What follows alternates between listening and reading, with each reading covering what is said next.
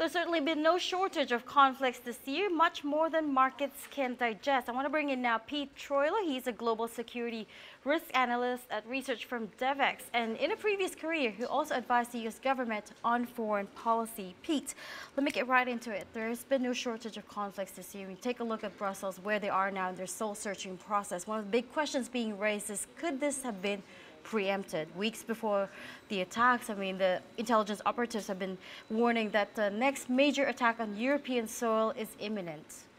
Well, clearly you're seeing some of the shortfalls in the European security apparatus right now.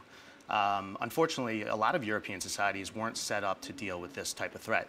In fact, no, uh, no government is really, really equipped adequately to deal with the complex and multifaceted uh, threat of, of terrorism. So right now, I think you're seeing uh, really the Belgian authorities, particularly under a spotlight, trying to grapple with how to best protect and also prosecute these cases. Well, for that matter, what lessons can we in Asia take away from what's going on, the ongoing turmoil in Europe? I mean, when you look at ASEAN as a region, we're working towards greater integration, and part and parcel of that shared roadmap is, you know, freer travel, easy travel, and open communications. Absolutely. Globalization is driving some of this complexity.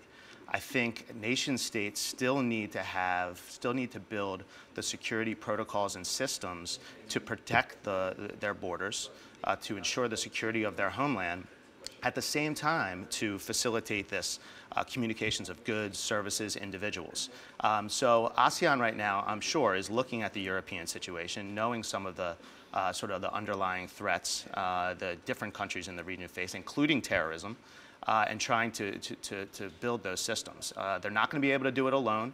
A lot of these, uh, the countries in, in Asia obviously are developing countries. They don't have the government capacity as even European countries. Uh, so international countries, including the U.S., I think are going to be uh, are going to be called on to assist. Well, this is also where countries, developed nations like Japan, come in, right? It's uh, Japan's new security laws actually kick in today, and what it does is it lets them, the government, exercise more freely its right to collective self-defense. In other words, if one of its allies is being threatened by a third country, they can call out the military. How does this change the dynamic in the region in light of uh, maritime tensions? Yeah, clearly this is a component of a bigger uh, sort of more proactive uh, posture from Japan.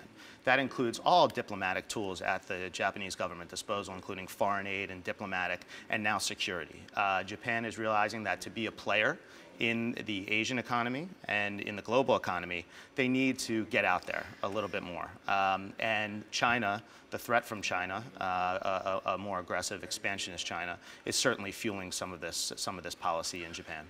Well, Pete, there's also tensions in the Middle East and also North Korea's antics and a slowing Chinese economy to contend with.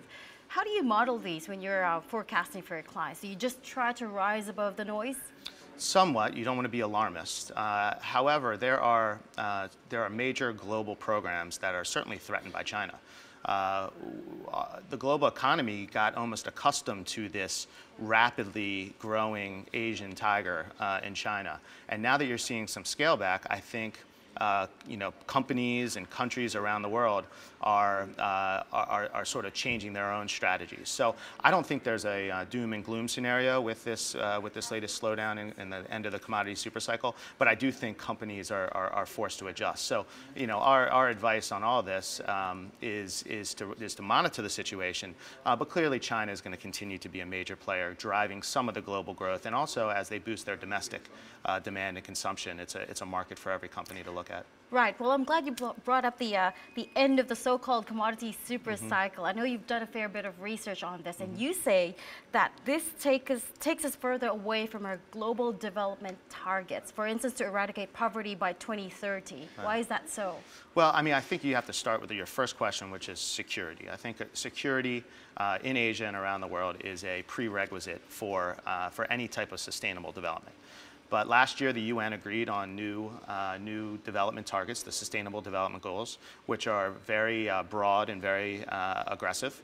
Um, and you know, as these, as uh, the, the, the, core question there really is how are you going to pay for them? How are you going to pay for achieving these goals uh, improved health, improved education, um, cleaner environment. We have a new climate change agreement. So there's an awful lot of objectives out there, and the question really becomes with Chinese slowdown, um, with some political instability in various places, who and how are we going to fund the new sustainable development goals? That's certainly a question in a lot of these governments' minds. Thank you very much, Pete, for your insights. We appreciate it. Thank you.